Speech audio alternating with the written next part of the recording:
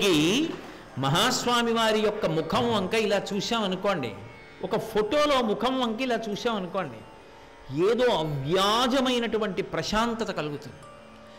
ఆ ముఖం అంత దీప్తి ఎందుకంటే అది ఎప్పుడూ కూడా భయం నుంచి పైకెత్తుతుంది. గురువు అజ్ఞానాన్ని పోగొట్టి అజ్ఞానం అనేటటువంటి చీకటిలోంచి వెలుతురులోకి తీసుకొస్తాడు. అటువంటి గురువుగారి దర్శనమే గురువుగారి ముఖమండల దర్శనం. గురువుగారి ముఖం కనపడడం అంటే గురువుగారు కనపడడం. గురువుగారి దర్శనం కన్నా లోకంలో గొప్పది ఇంకేముంది అసలు?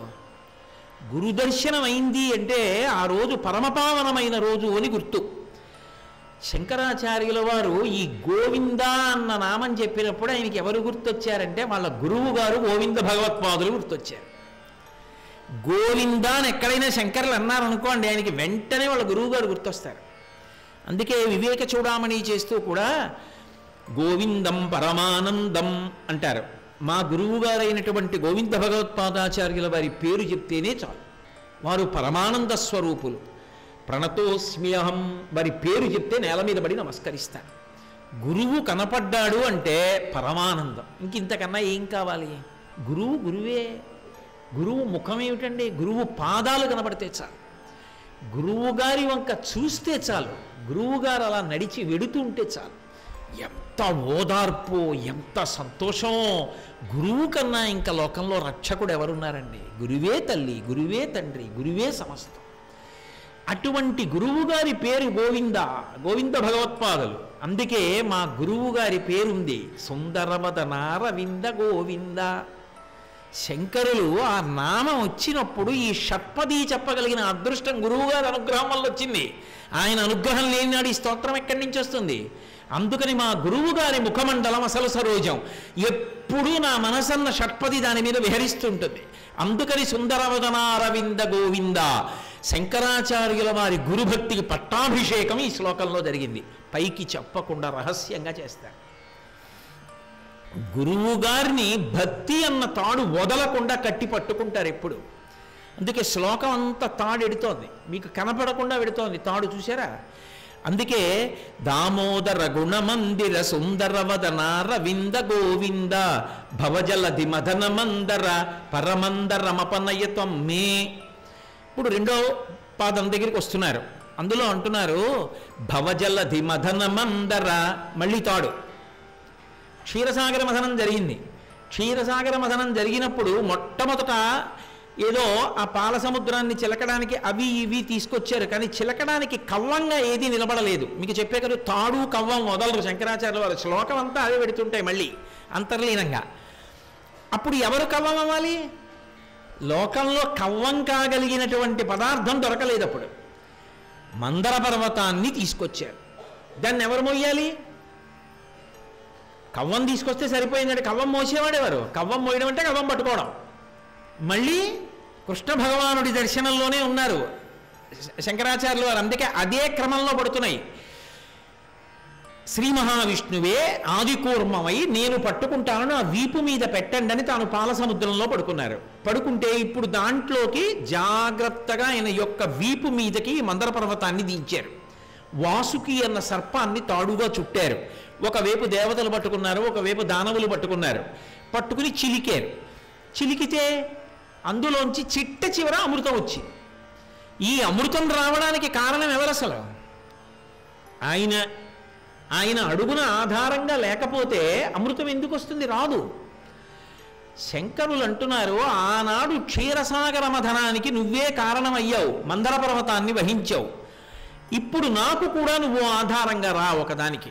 దేనికి ఆధారంగా రావాలి? భవజలధి మదన మందర. భవజలధి అంటే సంసారము అనబడేటటువంటి సముద్రం. ఈ సంసారము అనబడేటటువంటి సముద్రాన్ని నేను చిలకాలి. సంసారంలో ఉండే కదండి మరి మోక్షాన్ని పొందాలి? ఇది వదిలిపెట్టేసి మోక్షం కాదు ఇందులో ఉండి మోక్షాన్ని పొందాలి. మరి ఇందులో ఉండి మోక్షం పొందాలంటే దీన్ని చిలకాలి. దీన్ని చిలకాలంటే నువ్వు నాకు ఆధారంగా రావాలి.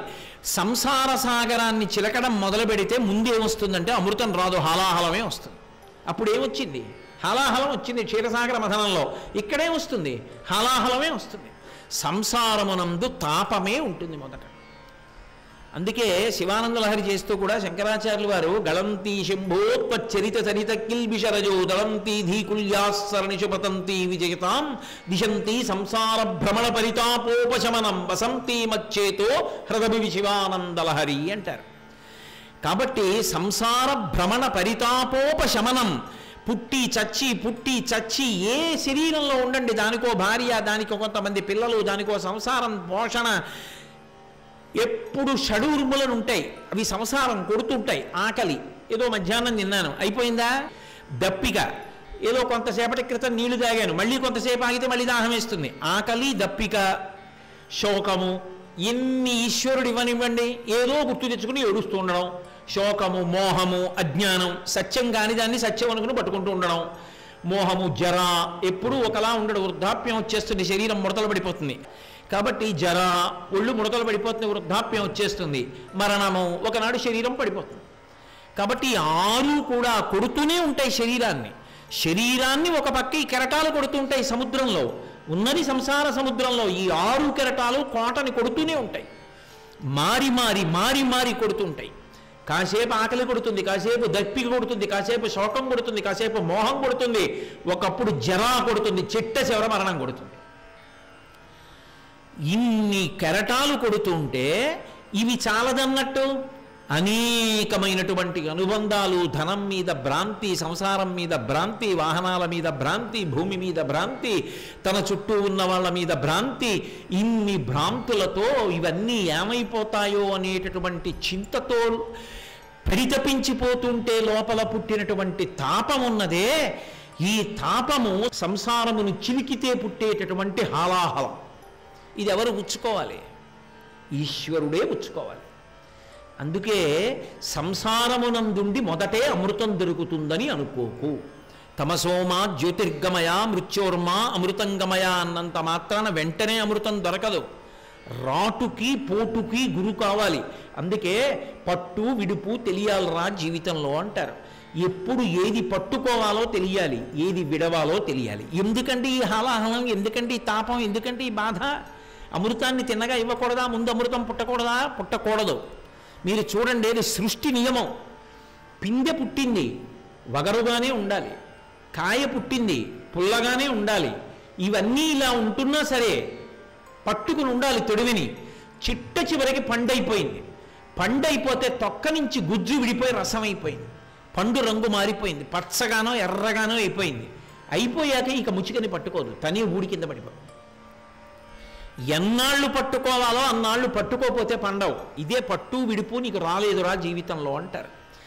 ఏది ఎప్పుడు పట్టుకోవాలో అది పట్టుకోవాలి. ఏది ఇక మనసులో విడిచిపెట్టేయాలో దాన్ని విడిచిపెట్టేయాలి. నా కర్తవ్యం ఎంతవరకు? అయిపోయింది కర్తవ్యం అంతే. ఇక నా జీవుడి గురించి చూడటం మొదలుపెట్టాలి ఎక్కడో ఒక్కడ వైరాగ్య సుఖాన్ని పొందడం ప్రారంభం చెయ్యాలి. లేని నాడు ఎవరు తరింపజేస్తారు ఉద్ధరేణ ఆత్మనాత్మానం నిన్ను నువ్వు ఉద్ధరించుకోవాలి. ఒంట్లో ఓపిక ఉండగా కాస్త పచ్చిగడ్డి పట్టుకెళ్ళి. ఓ ఆవుకి పెట్టకపోతే రేపు పొద్దున్న ఎవరు పెడతారు? నీ పేరు చెప్పి. నిన్ను నువ్వు తరింప చేసుకోవాలి ఓపిక ఉండగా నిన్ను నువ్వు తరింప చేసుకుంది నీ శరీరం పడిపోయిన తర్వాత ఎవడో ఏదో చేస్తాడనుకోవడం అత్యాశ. తప్పు కూడా అసలు అలా ఆలోచన చేయడం. ముందు ఓపిక ఉండగా మనం చేయాలి. దీపం ఉండగా ఇల్లు చక్క పెట్టుకో సంసారమనందు రాటు పోటు ఉండి తీరుతాయి. కష్టాలు వచ్చి తీరుతాయి. రాకుండా ఉండవు. పిందెగా ఉన్న తర్వాత పక్షులు వాళ్తాయి. పురుగులు పాకుతాయి. గొంగళి పురుగులు ఆశ్రయిస్తాయి. తట్టుకు నిలబడాలి. నిలబడితేనే కాయ. కాయ అయిన తర్వాతే పండు. ఆ పండు అయిపోయి నేల మీద పడిపోతేనే దాని సొబగు. అప్పుడే అది పూర్తయిపోయింది. ఆ పండడం వరకు ఈ వగరు భరించవలసిందే. సంసారమునందు మదనము జరిగినప్పుడు వచ్చిన వాటిని ఈశ్వరార్పణము చేయవలసింది. అసలు ఇలా ఈశ్వరుడి దగ్గర పూజ కూర్చోగానే మొట్టమొదటి ఇబ్బంది ఎక్కడా? అంటే ఇలా ఎంతసేపు కూర్చోవాలండి? అన్న ప్రశ్న. అంటే అసలు ముందు అక్కడే తాపం. నీకు తాపం వచ్చి తీరుతుంది రాదని అనుకోవద్దు. వస్తుంది. హాలాహలం వచ్చింది ఎవరికి ఇచ్చారు? ఈశ్వరుడికి ఇచ్చారు. అద్భుతమైనటువంటి వస్తువులు వచ్చాయి ఎవరికి ఇచ్చారు? దేవతలకు ఇచ్చేశారు. వాళ్ళకి ఉంచుకోలేదు. సంసార సాగర మదనము జరుగుతున్నప్పుడు వచ్చేటటువంటి దుఃఖములను గాని సుఖములను గాని నువ్వే నాకు ఆధారభూతుడవై మందర పర్వతాన్ని భరించడానికి ఆదికూర్మంగా పడుకున్నట్టు నాకు ఆధారభూతుడవై ఆ చిలకడంలో చివరామృతం వచ్చే వరకు నాకు సాయం చెయ్యి. నీకు ఇది అలవాటు. కట్టించుకోవడం చిలకడం ఇవి నీకు అలవాటు. ఇప్పుడు కాదు అలా అన్న వాళ్ళందరూ అనుగ్రహించావు. అందుకని దామోదర గుణమందిర సుందరవదనార వింద గోవింద భవజలది మదన మందర పరమందర మపనయతం మే. పరమందర అన్నప్పుడు దాన్ని విడదీసి అర్థం చేసుకోవాలి. పరమం తారం అని. నాకు పరమం అంటే విశేషమైనటువంటి భయంగా ఉంది. సంసారంలో ఉన్నవాడికి భయాలు కాకపోతే భద్రతలు ఎక్కడ ఉంటాయండి? కాబట్టి తాపమే వస్తుంది ఒక్కొక్కసారి. దాన్ని కూడా ఈశ్వరార్పణమే చెయ్యగలగాలి. అలా చేసి నేను తట్టుకుని నిలబడాలి. ఒక్కొక్కటి వస్తున్నప్పుడు ఒక్కొక్క భయం వచ్చింది. వదిలేశారా? వదలలేదు. హలాహలం వచ్చింది. పరిగెత్తుకుంటూ పోయారు. చని కైలాసముదొచ్చి శంకర నివాస ద్వారముంజేసి ఈశురి గవ్వారికు లడ్డుబడ్డ దళమంచుందొచ్చి కుయ్యో మొర్రో విను మాలింపము చిత్తగింపము దయం వీక్షింపమం సంభుజానన మొక్కిల్ కని రక్త రక్షణ కళా సంరంభని చెంబుని హలాహలాన్ని శివుడికి అప్పచెప్పారు ఏదో ఇంకోటి వచ్చింది ఇంకోళ్ళకి అప్పచెప్పారు వాళ్ళు పుచ్చుకున్నది ఎప్పుడు? చిట్ట చివర అమృతం వచ్చినప్పుడు. అమృతం వచ్చే వరకు భరించు. అలా భరించడానికి వాడిని సాధనంగా రమ్మని అడుగు. వాడికి అలవాటు అలా రావడం. వెళ్ళావా లేదా వాళ్ళ కోసం? ఏ నా కోసం రావడానికి? భక్తితో పిలుస్తున్నాను నేను తరించడానికి నాకు ఆధారంగా రమ్మంటున్నాను సంసారం మదించడానికి. కాబట్టి పరమంతారం పరమందరమపనయతం మే త్వం నువ్వు మే నాకు అపనయ పోగొట్టు. ఏది పోగొట్టాలి? పరమంతారం ఆ భయం విశేషమైన నా సంసార భయాన్ని పోగొట్టు. ఇక్కడ మీరు చమత్కారం గమనించండి. శంకరాచార్య వారి శ్లోకం దేంతో మొదలు? ఈ షట్పది. ప్రారంభం అవినయమపనయ విష్ణో. అవినయాన్ని తొలగించు. అపనయ శబ్దంతో ప్రారంభమైంది. అవినయాన్ని తొలగించుతో ప్రారంభం. దేంతో పూర్తయింది?